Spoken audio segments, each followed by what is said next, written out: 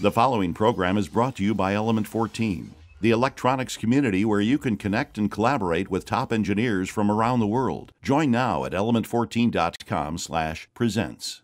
Welcome back to the Electronics Inside, the show where we tear down toys, tools, and appliances just to find out what's inside. I'm David, and today we're going for a behemoth, an electrocardiogram.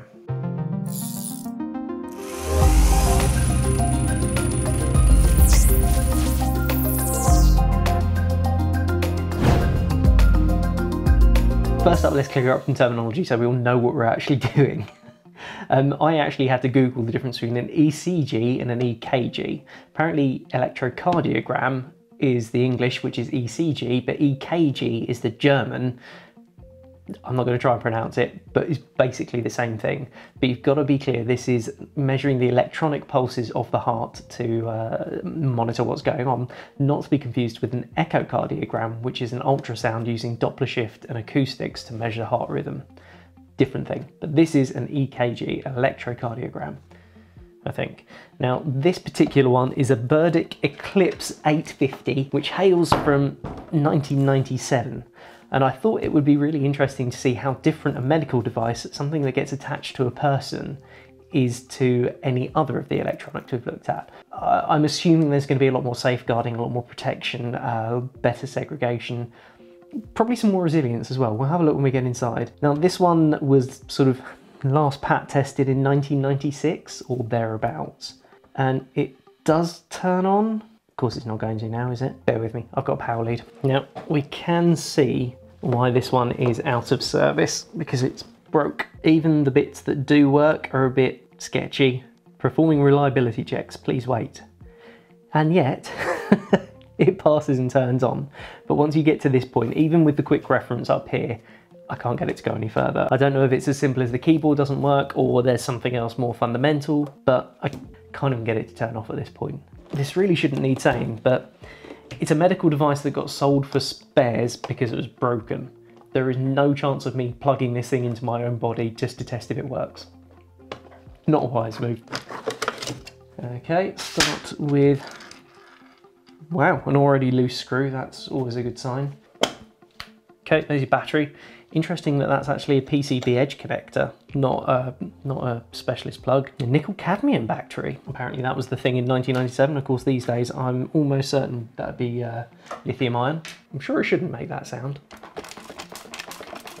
Hmm.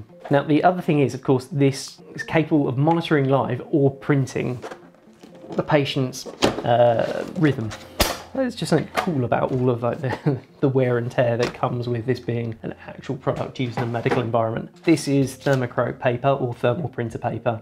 So there's no ink, you just heat this and the trace turns black. So for anybody that doesn't know, you can go back and look at the fax machine episode where we covered that in a bit of detail. We'll put a link up here or something. I don't really know what sort of electronics we're gonna find in the main body of it though. That'll be a Still not a good sound, is it? Feels like these screws are actually going into brass bushings as opposed to just into plastic. Always a positive sign for quality. Again, medical device, you'd hope so. This poor thing has been unloved by someone. Oh wow, just, yeah, brass bushings on the uh, top moulding, just old moulding. I wonder how old this is. Yeah, 1997, so this is manufactured in the first run of this machine being on market. 1997 is an interesting year for medical devices. It's when uh, a lot of previous legislation was rolled up into new legislation like uh, ISO 40, 13485 and uh, IEC 60601. So this would have had to have jumped through a lot more hoops than even previous, recently previous technology. I had really expected this to be a membrane keyboard in the style of, you know, um, when the, the rubber membranes have got the carbon on the back or a conductive coating on the back and they press down about on exposed pads. Now this obviously hasn't, it's got uh, an encapsulated dual layer membrane keyboard. Now, I would think that's probably related to infection control. In medical environments, you have to make sure that everything can be cleaned, everything's inherently clean. And the fact that this is sealed away from the electronics meant that this could be disinfected if need be, and you can squirt the life out of this with uh, very harsh cleaning chemicals and it wouldn't start to get inside and uh, affect any conductive components. So that's our first sign of something slightly medical based. Okay, so there's a ribbon to the display driver for the screen and very, very big okay. Zebra to 2.54 millimeter extended headers. That's that's a unusual combination. I'd have expected the zebra stripes to have gone into a, a, a flat ribbon connector, but clearly not. Okay, let's put that to one side. I'll come back to that. So here's the thermal printer mechanism. Now, compared to things like the fax machine, sorry, I've just pulled that pin out. Compared to the fax machine, that's a really simple printer mechanism. Do you remember the fax had all those cogs, all those cams, everything to try and keep it going? I guess because this is continual printing, it's not concerned where a page starts and finishes. Um, and the pinch roller being built into the top of here, that actually forces the paper in and up against the, the thermal printer head, which of course will be across the back here. So yeah, that's a, that's a cool module actually. The relative size of that compared to other thermal printers that we've already seen and the paper handling, that's, that's a really neat little unit. I'm kind of assuming for the time being, power, intelligence, digital electronics and control. We'll try and do a bit of analysis actually see if that is the case. Interesting you've got an expansion port on the front um, and a little port on the back here. Now other models of the same thing and you can kind of see this on the back. Um, that's clearly a D9 and probably a D25. never a good sign. So other models of of this were available that could be connected up to external equipment and have other inputs and outputs. Now to me it looks like that pin out there probably would have provided that. Maybe an extra header there that connects over here or the alternative is that this card is capable of being plugged in in other places. So that pinout looks very, to me, similar to uh, some other equipment that uh, you can plug expansion cards into. Uh, the, the PXI crates, the PXI range. Uh, it's not the right form factor, but it's a similar sort of connector. So it's probably a high-speed bus that you can plug multiple cards into one big crate of equipment. I don't know that this is going to be anything in specifically designed to be an electrocardiogram, or whether this is a high precision analog card that's medically rated that could be used in a number of applications. When we look at some of the hardware a little bit more directly, we'll uh, look up what it is and actually see if that is the case or not beautifully laid out PCB. All the rows for all the different inputs through. This, this D15 is where you'd plug in the external leads for plugging into the patient, essentially. And uh, we've got 10 signals. They've probably got their own individual DACs. Uh, we'll be able to look up exactly what these all are. I mean, this is a multi-layer PCB, and it's just really interesting that getting the light right behind this, you can see sort of the different layers. And if you look really carefully, the very top layer of this board, all the traces run front to back, whereas on the next layer down, you can see all the traces run horizontally left to right. Now I understand that's typical of old software. Um, when you were doing uh, automatic layouts for equipment, that horizontal, vertical, grid-based system per layer is what early software would automatically give you. So this is a computer-designed PCB layout. Interesting. This, uh, this IC over here in the corner next to the expansion port is actually a SanDisk IC, and I wouldn't be surprised if that was a controller for that memory card. So yeah, there's, a, there's actually a decent amount of power on this board. Um, I guess it's uh, handling a lot of analog to digital conversion over here, and then again, you can see this massive divide in the board where you've got two very separate and they're only bridged by these couple of components up here. One's quite clearly uh, uh, transmit and receive because they are literally rotated one over the other. So you've got what could be patient facing side over here and probably the non-patient safe equipment over here. And they've separated on the board. So yeah, that's that's the sort of medical specific stuff that I was kind of expecting to find on a board. Back in the box, um, got some enormous earthing going on over here.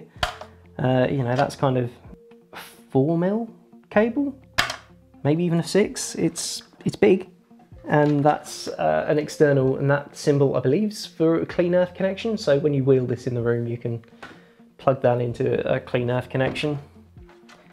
And much like the high-end audio kit we looked at, look at that beautiful toroidal transformer. 92 VA or roughly 92 watts depending on the power factor. Secondary 25.5 volts at 3 amps. Nice normal voltage of course. I always like this when they have like the curved edge on the PCB to, to accommodate the toroidal transformer. Weird. And I also find this is slightly weird because you've got the mains incoming voltage and the 25 volts outgoing side on the same PCB. I'm imagining that this main board has got nothing near as high as 25 volts. The 25 volts is probably present to um, to charge the batteries. Bearing in mind I have had this turned on very very recently and it had batteries in it which would have kept the capacitors charged even more.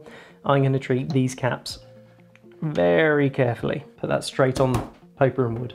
Now there's nothing else left in here other than some shielding and the earth connection. I feel like they're trying to give us as many clues as they possibly can over here. So you've got V-print, so the printer clearly works at one voltage. VBAT, so there's another battery voltage. So that connected, and I won't plug it in because I've just realized that can make a lot of things alive again.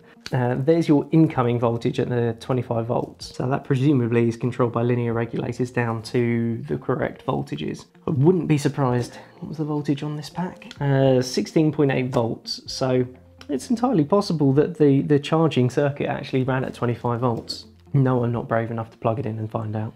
Okay, so I've been checking up on some of the uh, some of the components on here. Now, this board is super interesting and it tells the tale of how to design something really effectively with safety in mind. So keeping to this half of the board, you've got the AMD Elan SC400 33AC. So it's a 33 megahertz system on a chip. Um, so that's that's a 32-bit processor. So you've over here you've got some DRAM, and I've got a question about these. Now there's like two positions that you could put the DRAM in.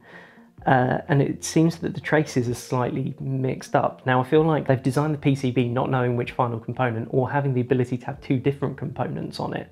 And depending on which one you've got the supply of in that batch run, you position it slightly differently.